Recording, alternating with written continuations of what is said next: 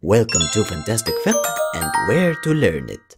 This episode Najasah and Taharah. Today we will be learning about the pure and the impure things. In Arabic, these are known as Najasah and Taharah. Almost everything on Allah's beautiful planet is considered pure, Tahir. But there are a few things which are not pure, and we will get to know about them in a bit. So first things first, Najasah and Taharah. What are they? Najasat are those things which are considered impure or unclean by Islam.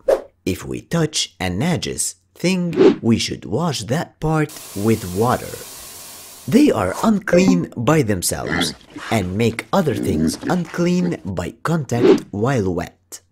Some najis things are dog, pig, alcohol, urine, stool. Tahara means purity and is when we are considered clean by Islam.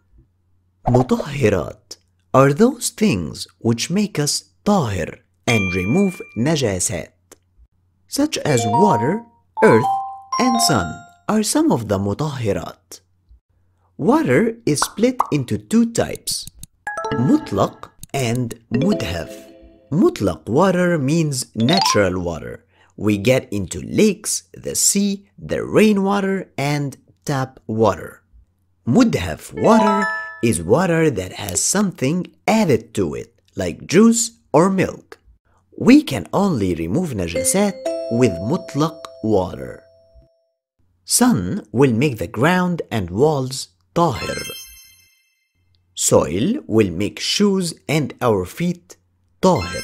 Attention! An important rule to remember when it comes to pure and impure things in Islam. You should always assume something is pure unless you know for sure that it is impure.